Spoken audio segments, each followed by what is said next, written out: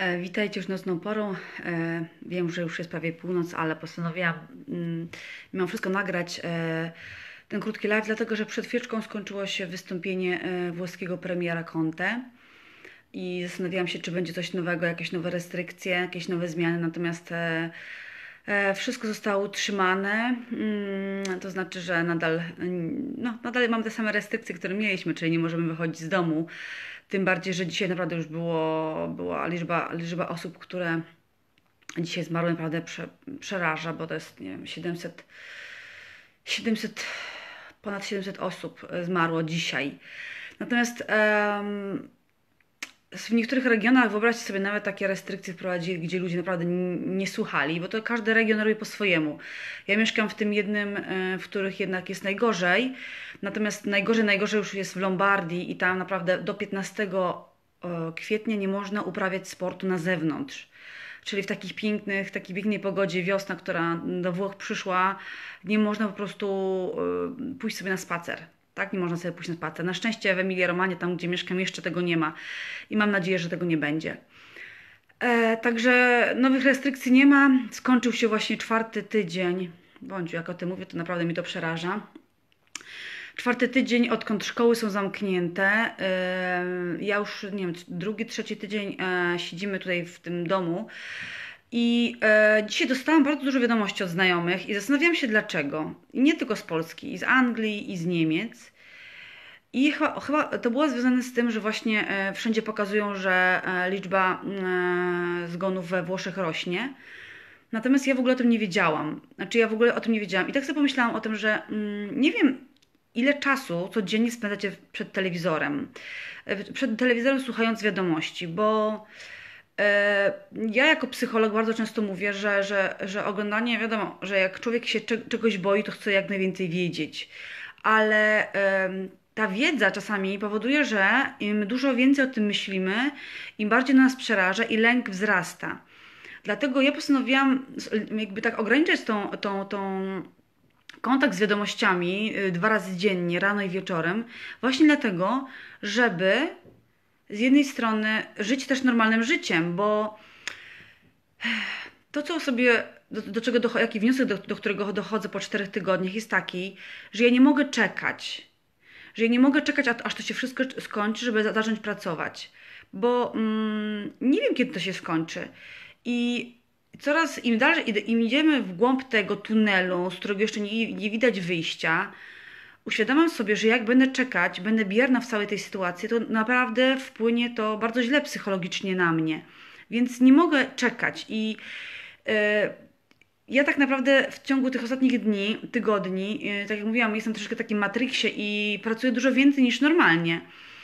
Dlatego, że szukam rozwiązań, e, jakich, które by pomogły jakby też mm, pozwolić mi jak najlepiej pracować w przyszłości, kiedy może ta sytuacja się uspokoi, bo teraz po prostu nie, nie szukam nawet nowych pacjentów, bo wiem, że większość z nich jest zajęta czymś innym, ale e, to, co ja chciałam Wam przekazać nawet w tym tytule tego, tego, tego postu, to że okej, stosuj, się- stosuj się do zaleceń, ale rób swoje. Nie siedźcie non stop przed telewizorami i słuchajcie, jak, jak tam numery wzrastają we Włoszech, w Polsce i w innych krajach Europy, bo można zwariować. Naprawdę można zwariować i em, to, to niczemu nie służy. Jeżeli wam, ma, mamy, mamy już wystarczającą ilość informacji na, do, do tego, aby wiedzieć, co robić w tej, w tej kwestii. I wiemy, że trzeba siedzieć w domu i są zawsze te same rzeczy. I myć ręce, i do niego się nie przytulać, i, i, i kichać w, w, w ten, w chusteczkę, tak? Wszyscy to wiemy, ale więc nie szukajmy kolejnej sensacji. W telewizji nic wam nowego nie powiedzą. Zajmijcie się waszym biznesem, zajmijcie się waszymi dziećmi, zajmijcie się samymi sobą.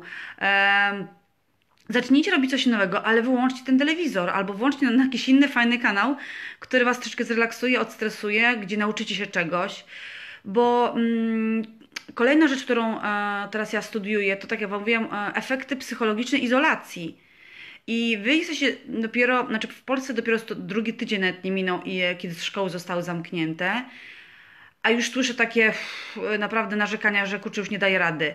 A my jesteśmy czwarty tydzień, czwarty tydzień i to, co przygotowuję dla Was, oprócz takiego artykułu w czasopiśmie, który mam nadzieję, że wyjdzie, no nie, no troszeczkę może wyjdzie w kwietniu, ale to to właśnie jak uniknąć pewnych takich efektów negatywnych izolacji.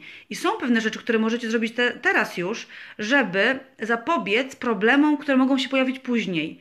Ja nie mówię tu o problemach ekonomicznych, bo nie jestem jakimś tutaj finansistą, ale o, o problemach psychologicznych.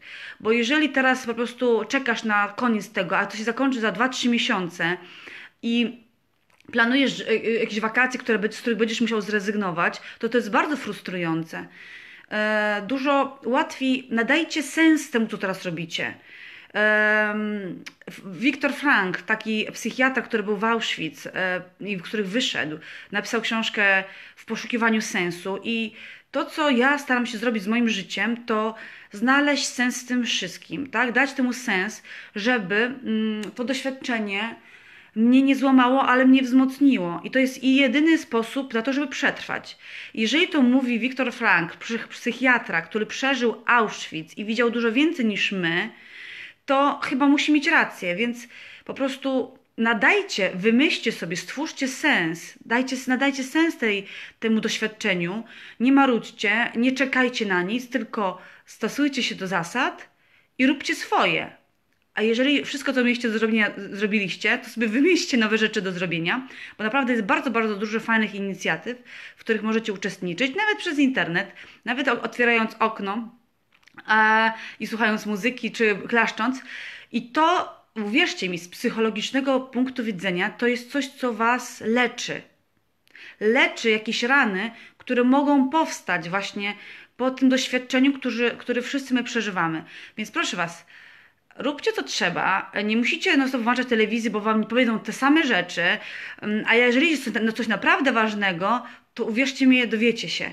Wszystkie grupy na Whatsappach, w Messengerach, e, telefony, które dostaniecie, jeżeli coś ważnego się będzie działo, to się dowiecie. Natomiast, natomiast okej, okay, sprawdzam wiadomości, ja też sprawdzam ile osób... Mm, zmarło w, te, w, tej kwestii, żeby zobaczyć, czy już ta liczba mm, spada. Mam nadzieję, że spadnie jak najszybciej mm, e, liczba zgonów.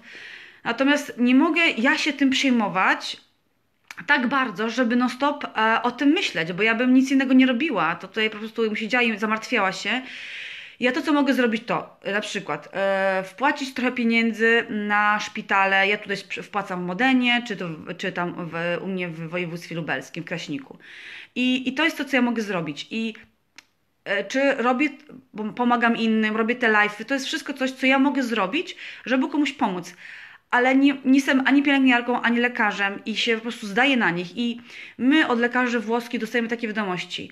My robimy, my wam pomagamy, tak? My ratujemy wam życie, a wy pomóżcie nam, zostając w domu. I już jest północ, także na pewno jeszcze jutro coś nagram, bo to jest niedziela i, i zwykle mam więcej, chyba więcej energii, siły. Dzisiaj był bardzo piękny dzień we Włoszech, a podobna pogoda ma się poprawić. Widziałam, że mm, już na zdjęciach u znajomych, że w górach spadł śnieg. No, podobno we Włoszech też ma się popsuć, także dzisiaj był taki dzień dość pozytywny, dlatego byłam zaskoczona tymi wszystkimi telefonami, jak się czujesz, jak się czujesz. A ja siedziałam sobie z dziećmi w ogródku i czytałam książkę i graliśmy jakieś tam rakietki. I tyle. Moje dzieci po prostu biegały, bo, bo ja muszę wybiegać gdzieś, bo jeżeli nie możemy wyjść nawet na spacer mm, dalej, ani na rowery gdzieś dalej, no to muszę, muszę biegać wokoło domu. Natomiast sobie byłam super zrelaksowana. Natomiast telefon od innych osób, które non-stop siedzą przed telewizorami, uświadomił mi, jak, jaki to bardzo naprawdę ma negatywny wpływ na nich, bo mm, ja się przejmuję tym, na co mam wpływ. Jeżeli nie mam na to wpływu, to nie mogę się tym przejmować, bo to mnie tylko niszczy, a i tak mm, rzeczy pójdą swoim biegiem. A to, co możemy zrobić, to właśnie siedzieć w domu. Siedzę w domu i staram się, żeby ten czas. E, miał sens, żeby mnie czegoś nauczył, żeby wzmocnił relacje z moimi, moimi tutaj moją rodziną i to wszystko. Pozdrawiam serdecznie i będziemy w kontakcie. Miłego wieczoru.